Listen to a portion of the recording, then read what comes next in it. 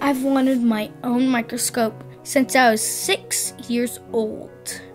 When I was six, I got a microscope, but it was one of those junky Discovery Kids kinds and not the good ones.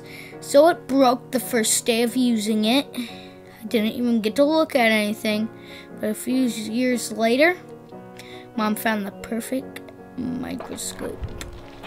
My microscope's name is Meeka, and we take her to Riverwalk Park. We take her to a lot of places in a little bag. Not the Ziploc bags. She's too big for that. What's your favorite thing to look at?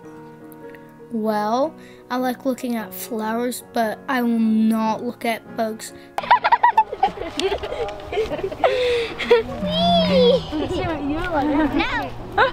Hello.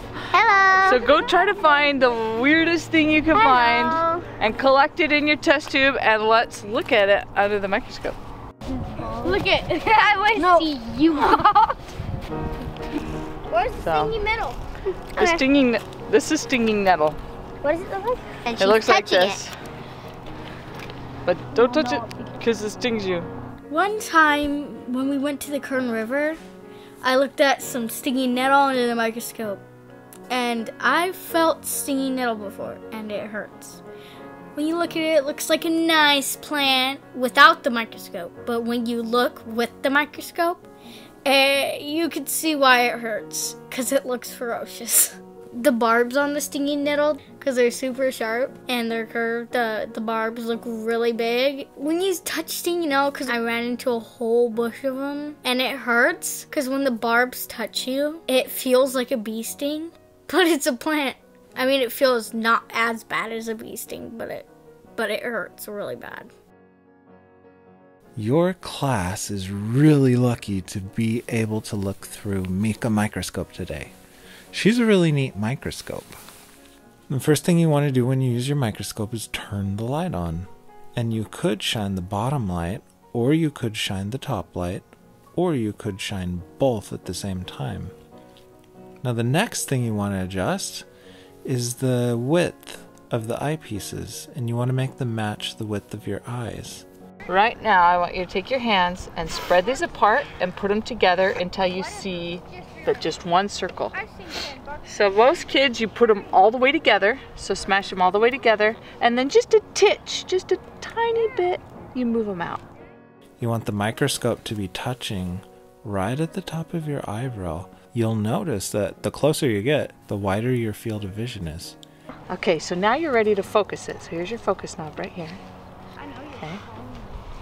You're gonna move it up and down until you can see your sample.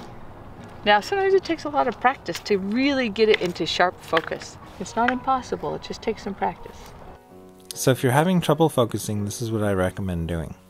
Move the knob all the way till it stops, either up or down. Then you know you're either as high as you can go or as low as you can go. And then start turning the knob the other way slowly until you see your subject come into focus. Go down a little. Do you see it yet? No. Kind of. Keep going. Now, scientists have to work at something for a while till they get it just right. Oh, and I almost forgot, there is one more thing. You notice the black thing at the bottom? There's a 2x and a 4x. You can actually turn that around, and that will zoom it in. Okay, let's sure make this is on two times. It's on four times, so we're gonna click it.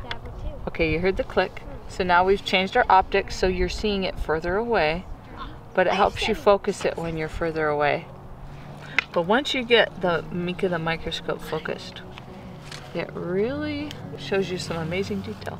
I can see a bit of the dirt. Can you see a bit? I see like this box I got Well, let's see what you got. right there.